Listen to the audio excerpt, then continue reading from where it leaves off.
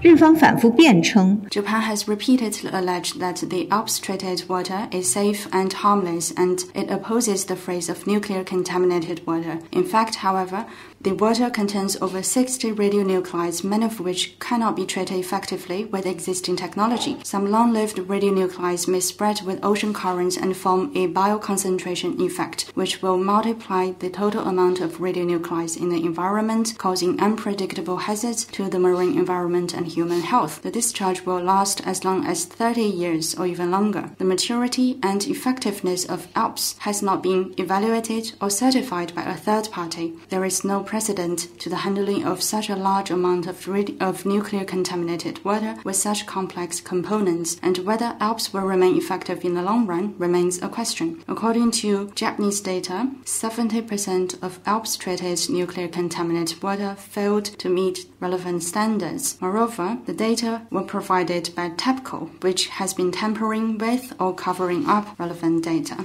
How can the world be assured that the treated water is as safe as Japan claims? Japan needs to face up to the legitimate concerns of the world, faithfully perform its obligations, handle the water in the safest and most prudent way, including fully studying alternatives to ocean discharge, fully subject itself to international oversight, and avoid to the uttermost extent possible imposing unpredictable risks on the international community. The last thing it should do is try to whitewash its ocean discharge decision. Japan must not start discharging the water into the ocean before reaching consensus through full consultation with neighboring countries and other stakeholders as well as relevant international agencies.